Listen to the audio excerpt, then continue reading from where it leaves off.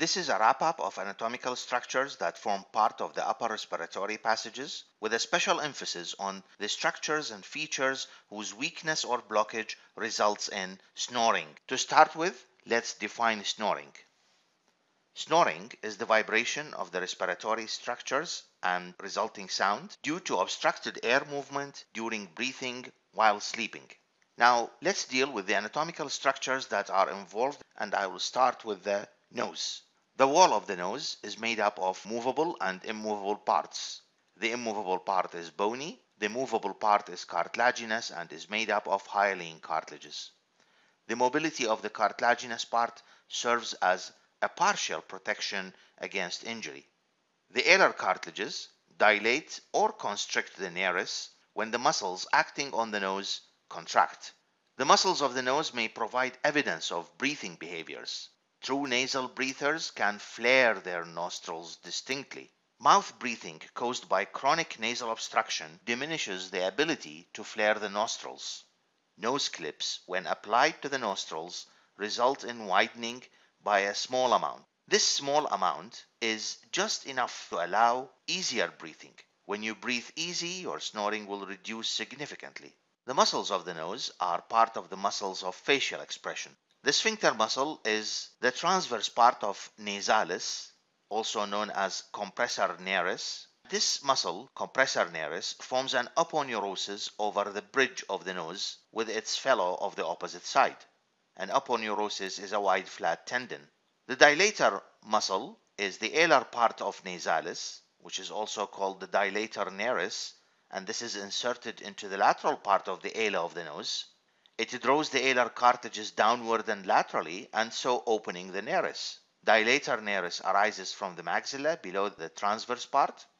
Two additional dilator muscles are the very small depressor septi which arises from the maxilla above the central incisor and is attached to the nasal septum. The other muscle has a very long name. It's called levator labii superioris alaeque nasi.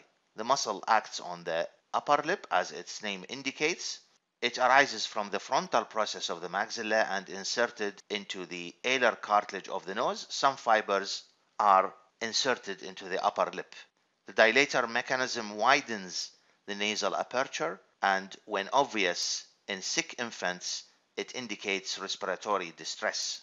The nose has a septum called the nasal septum which divides the nasal cavity into right and left. It is again formed by bone and cartilage movable and immovable part, and it is almost always deviated from the midline. Severe deviation from the midline could result from trauma. Sometimes the deviation is so severe that the nasal septum is in contact with the lateral wall, and therefore it obstructs breathing and exacerbates snoring, and this can be corrected surgically. The cavity of the nose communicates with the exterior through the nostrils, and it opens posteriorly into the nasopharynx through the choana. The floor of the nose is the roof of the mouth and is formed by the hard palate, and the roof of the nose is at the base of the skull.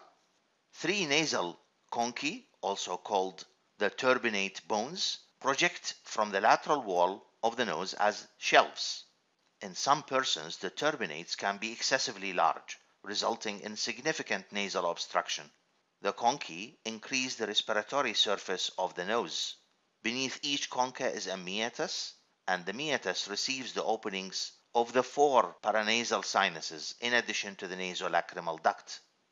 The paranasal sinuses are air-filled cavities distributed bilaterally and named according to the bone in which they are located.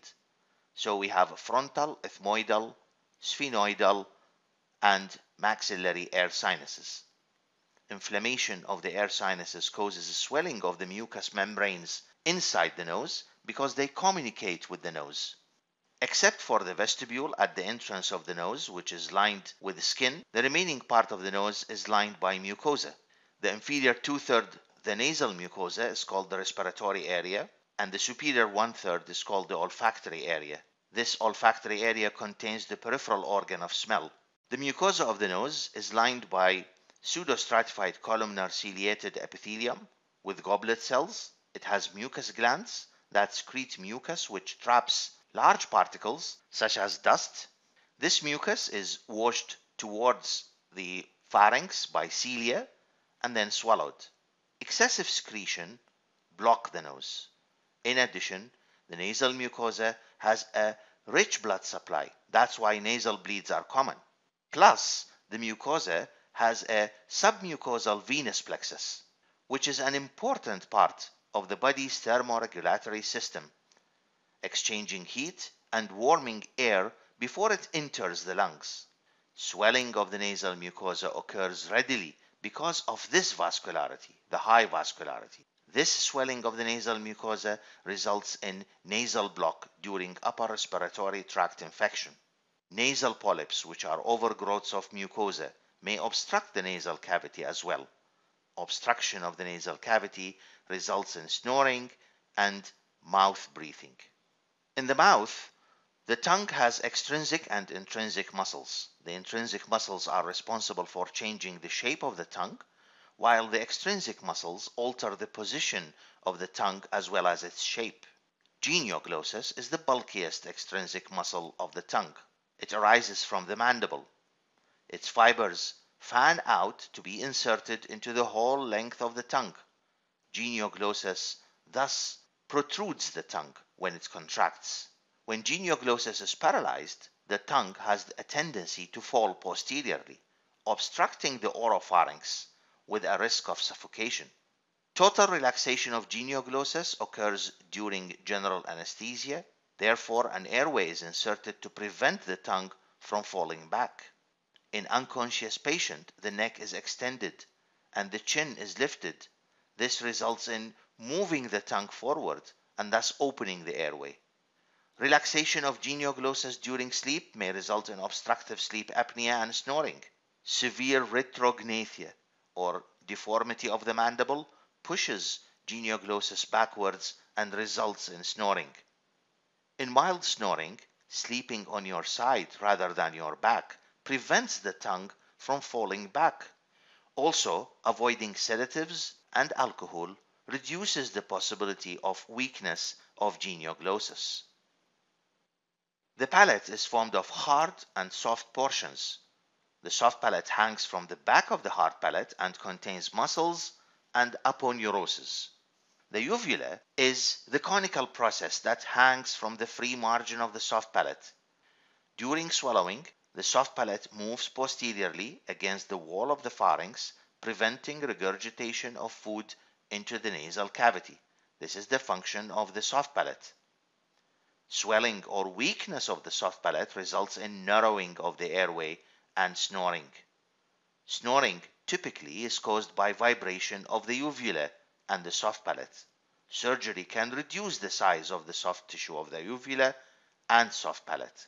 Weight reduction might be helpful in mild cases of snoring. The tonsils can be another cause of snoring here. The official name of the tonsils is the palatine tonsils because they extend into the soft palate and because of their relationship to the palatine arches palatoglossus and palatopharyngeal arches or folds. Each tonsil lies in the tonsillar fossa of the oropharynx. The tonsils vary in size from person to person. In children, they tend to be large and might result in airway obstruction. Inflammation of the tonsil or development of a peritonsillar abscess may develop and causes airway obstruction. The pharynx is about 12 to 14 centimeter long it extends from the base of the skull to the inferior border of the cricoid cartilage, which is located just below the Adam's apple. Adam's apple is formed by the thyroid cartilage. The pharynx is wide superiorly, but becomes narrow at the junction with the esophagus. It directs air into the larynx, while solid and liquid food are directed to the esophagus. The pharyngeal wall does not form a complete tube. This is a view of the pharynx from behind, and you can see that it is formed by a musculofascial tube. However, the pharyngeal wall does not form a complete tube. At the top, it opens anteriorly into the nasal cavity and is called the nasopharynx. Lower down, it opens into the mouth and is called the oropharynx. Below, it opens into the larynx and is called the laryngopharynx. Because the pharynx opens anteriorly, then the posterior wall of the oropharynx can be seen through the open mouth. The nasopharynx and laryngopharynx can be inspected by using suitably angled mirrors. Let's return to the view of the pharynx from behind. In the nasopharynx, there is a thick fibrous layer which becomes thin at the level of the palate. This thick fibrous layer does not continue downwards into the oropharynx or laryngopharynx because otherwise muscle contraction during swallowing would be impeded if the fibrous layer were properly developed where it overlies the muscles. The thick fibrous layer is called the pharyngobasilar fascia because it's attached superiorly at the base of the skull. This line shows the attachment of the pharyngobasilar fascia to the base of the skull. The stiffness of the pharyngobasilar fascia keeps the nasopharynx always open for breathing. The pharyngobasilar fascia is reinforced posteriorly by a midline thickening called the pharyngeal ligament. The pharyngeal ligament is attached to a tubercle at the basi-occiput called the pharyngeal tubercle. Returning back to the musculofascial wall of the pharynx, the muscular layer is composed mainly of three constrictor muscles, superior, middle, and inferior constrictor muscles. They overlap each other from below upwards like three stacked glasses. The muscles do not extend up to the base of the skull. The immovable wall of the nasopharynx here at the base of the skull consists of the thick pharyngobasilar fascia which makes a fourth cup stacked inside the other three but it keeps the nasopharynx always open because of the thickness of the fascia and of the fact that there are no muscle fibers to contract. In the oropharynx or laryngopharynx, decreased tone of the pharyngeal muscles that accompanies neurological disease results in easy collapsibility of the pharynx and airway obstruction. You might wonder why air is not sucked into the esophagus during inspiration. It is because the lower part of the inferior constrictor muscle has horizontal fibers that act as a sphincter at the lower extent of the pharynx called the cricopharyngeus muscle. These horizontal fibers of the inferior constrictor muscle are always closed except for swallowing, thus preventing air from being sucked into the esophagus during inspiration. Therefore, air is sucked only into the permanently open trachea through the larynx. The opening of the auditory tube lies in the lateral wall of the nasopharynx.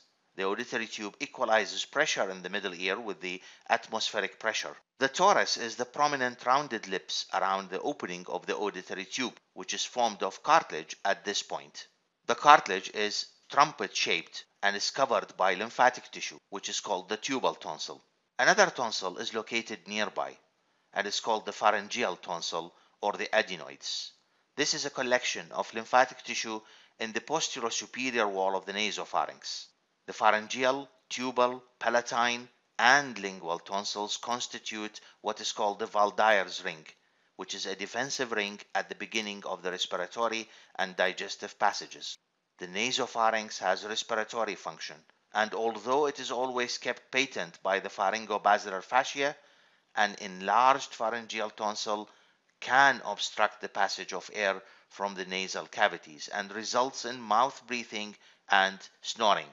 The oropharynx, unlike the nasopharynx which has respiratory function, the oropharynx has digestive and respiratory functions. Posteriorly, the wall is formed by the constrictors and it closes completely behind a swallowed bolus. Otherwise, it's open for breathing. Anteriorly in the oropharynx is the posterior third of the tongue and laterally are the two ridges or folds on each side and the palatine tonsil lies in between them. So when the tongue falls back, in cases of relaxation of genioglossus, it obstructs the oropharynx and when the palatine tonsils are enlarged, they also result in narrowing of the oropharynx, resulting in snoring. The larynx, trachea, and bronchi are stented open by rings of stiff cartilage, hyaline cartilage, in much the same manner as the reinforcements of a vacuum cleaner's hose. These reinforcements in the vacuum cleaner hose as well as in the larynx, trachea, and bronchi keep them from collapsing when the vacuum is turned on or when a negative pressure is applied during respiration.